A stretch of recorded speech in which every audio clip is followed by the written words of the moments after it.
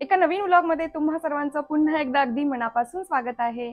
तर आज आहे अक्षय तृतीया आणि आजचा दिवसभराचं माझं रुटीन आणि माझं म्हणजे आमचं सगळ्यांचंच रुटीन काय असणार आहे हे मी या व्लॉगमधून तुम्हाला दाखवणार आहे. तर व्लॉग हा शेवटपर्यंत बघत राहा.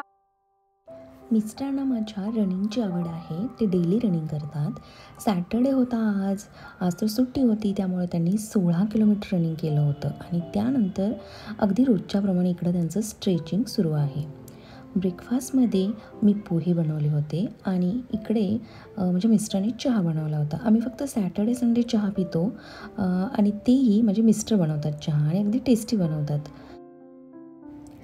आफ्टर ब्रेकफास्ट किचन ओट्यावरती जो काही पसारा झाला होता तो मी इकडे आवरती आहे ब्रेकफास्टची भांडी आणि बाकीची ही सगळी भांडी मला इकडे धुवायची आहेत आणि स्वयंपाकाच्या अगोदर मला किचन ओटा अगदी क्लिअर करून घ्यायचा होता. मी आज पुरणपोळीचा प्लॅन केला होता कारण माझ्या मुलाला आणि माझ्या मिस्टरांना दोघांनाही पुरणपोळी खूप आवडते. पूर्वी मला आवडत नव्हती पण हल्ली हल्ली मला आवडायला लागली आहे पुरणपोळी.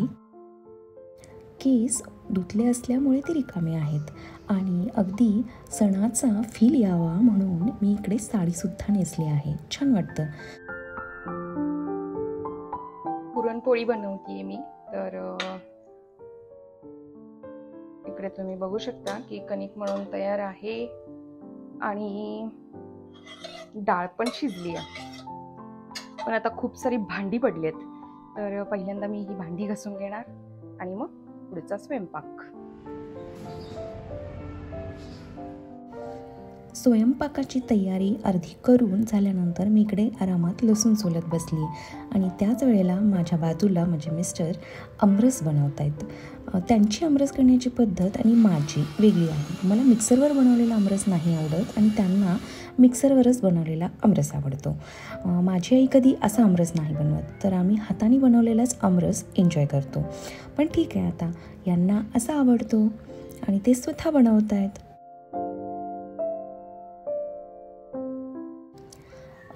आमच्या गावाला नेहमी प्रत्येक सणाला पुरणपोळीच असते. तर मीही इकडं पुरणपोळी बनवते आहे आणि तुम्ही बघू शकता की मिस्टर मला पुन्हा मदत करतायत पुरण वाटून देत आहेत ऑब्व्हियसली आता घरात आम्ही तिघंच आहोत एकटीला काम हे खूप सारं होतं. तर ते मला प्रत्येक कामामध्ये सुट्टी आहे त्यामुळं मदत करतायत. मी इकडं भजी तळून घेते आहे पूर्ण स्वयंपाक करून घेणार मी आणि त्यानंतर देवपूजा करणार असा माझा प्लॅन होता. कारण देवपूजेला देखील खूप वेळ लागणार होता. मला पूर्ण सगळे देव घासायचे होते. अगदी सगळीच तांब्याची भांडी मला आज घासायची होती. तर तर तुम्ही इकडे बघू शकता की मी भजी तळते आहे भजी तळून झाली कुरडया उडदाचे पापड तळून झाले आणि मला पापडाचा चाटसुद्धा बनवायचा आहे. म्हणजेच मसाला पापड जसा असतो तसाच हा चुरलेला पापडचा चाट मला इकडे बनवायचा होता. बारीक चिरलेला कांदा टोमॅटो एकत्र करून त्यामध्ये थोडंसं लाल तिखट मीठ आणि चाट मसाला टाकून हे पूर्णपणे मी प्रॉपर मिक्स करून घेतलं. आणि यामध्ये तळलेला उडद्याचा पापड चुरून घेतला. आणि हो अगदी खायच्या वेळेला ताटाला जेव्हा आपण हा चाट घेतो तेव्हाच त्यामध्ये लिंबू पिळायचा. छान लागतो हा चाट. अशा पद्धतीने माझा स्वयंपाक बनवून रेडी आहे. आणि मी ताट सुद्धा बनवलं आहे. तर इकडे बघू शकता. यानंतर मी सगळे देव घासायला घेतले आहेत. जनरली मी काय करते आठवड्यातून गुरुवारी सगळे देव घासून घेते. मी तुम्हाला मागेही बोलले होते की जेव्हा माझी सासूबाई असते माझ्याजवळ तेव्हा आठवड्यातून ते ॲटलिस्ट तीन वेळा तरी सगळे देव घासतात एकदम नेहमी माझे देव लखलखीत असतात. पण मला मात्र अजून ते जमत नाही आहे मी आठवड्यातून फक्त एकदाच घासते कधी कधी प्रयत्न करते की दोन वेळा घासायचा पण शक्यतो एकच वेळा ते घासून होतात. तर आज अक्षय तृतीया आहे म्हटल्यावर सुरुवात मी पूर्णपणे सगळे देव काढून देवाची भांडी काढून प्रॉपर पितांबरीने ती घासून घेतली. तर तुम्ही इकडे बघू शकता किती छान लखलखीत झाले आहेत. सगळे देव आरत्या आणि माझे स्वामी समर्थसुद्धा तर अशा पद्धतीने पूर्णपणे स्वयंपाक झाला आहे. किचन ओठा अगदी छान क्लिअर आहे. भांडीसुद्धा मी धुवून ठेवली आहेत आणि त्यानंतर मी देवसुद्धा स्वच्छ धुवून घेतले आहेत. आणि आता शांतपणे मी देवपूजा एन्जॉय करत आहे मी म्हटलं ना तुम्हाला की देवपूजासुद्धा एक मेडिटेशनचा पार्ट आहे. छान वाटतं मनाला आपल्या.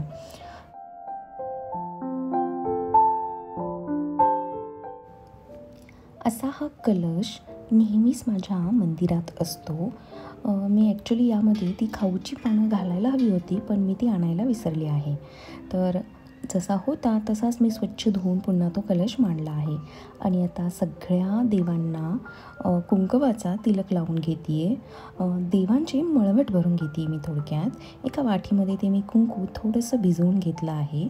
आणि अगदी सुरुवात ही स्वामी समर्थांपासून केली आहे. त्यांना छानपैकी तिलक लावून हार घालून आणि त्यांचा मुकुट चढवून बाकीच्या देवांना देखील मी इकडं वन बाय वन लावत आहे. मला एक गणेशाची सुंदर अशी मूर्तीसुद्धा घ्यायची आहे. ॲक्च्युली आज मुहूर्त देखील छान होता. प्लॅन होता तसा घ्यायचा.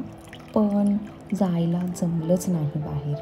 तर तुम्ही इकडे बघू शकता फुलांची आरास देखील माझी घालून झाली आहे. तीन वेगवेगळ्या पद्धतीनं मी इथं फुलं मांडली आहेत. कसं आहे? उकड्याचे दिवस आहेत गरमी आहे खूप. तर या फुलांमुळे या कासवाला ह्या बाकीच्या देवांना या सगळ्याच भांड्यांनासुद्धा छानपैकी थंडी थोडासा गारवा मिळेल. आणि आज अक्षय तृतीयेला आंब्याला विशेष महत्त्व असतं म्हणून मी इकडे जेवढी जागा अवेलेबल होती तेवढ्यामध्ये असे हे चार आंबे मांडून घेतले आहेत आणि आंब्यांची सुद्धा देवाला आरास केली आहे. तर अशा पद्धतीने छानपैकी माझी देवपूजा झाली. तर देवपूजा झाल्यानंतर असं हे एकदम प्रसन्न असं वातावरण झालं होतं. आज संध्याकाळचं आम्हाला ईद सेलिब्रेशनचं इन्व्हिटेशन होतं आणि मी माझ्या मैत्रिणीकडे गेले होते. मी ना पहिल्यांदाच अशी ईदला जाते कुठे त्यामुळे खूप भारी वाटते मला कुठेच नाही मुलांना पण खूप आवडलं हो, बोलवायला आला होता मला पण मी का नाही गेले?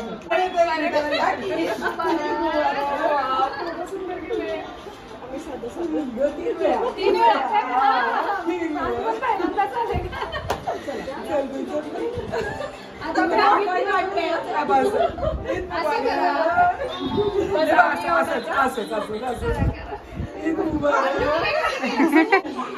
थोडस कॉफी टाईप आहे ब्राउनिश टाईप आहे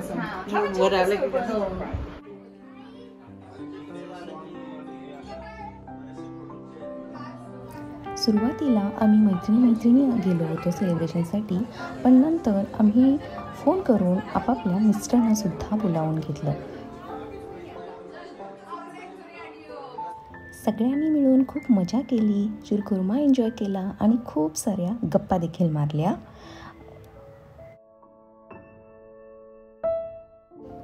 ईद सेलिब्रेशनसुद्धा अगदी जोरदार झालं.